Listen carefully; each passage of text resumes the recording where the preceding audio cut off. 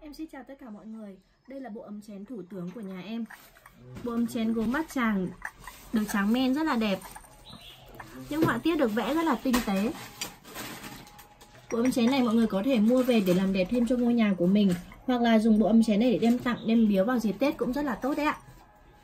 Mọi người mua hàng thì có thể inbox trực tiếp cho em hoặc là để lại thông tin ở dưới phần bình luận của video này thì em sẽ chủ động liên lạc lại với mọi người. Cảm ơn mọi người đã xem video ạ.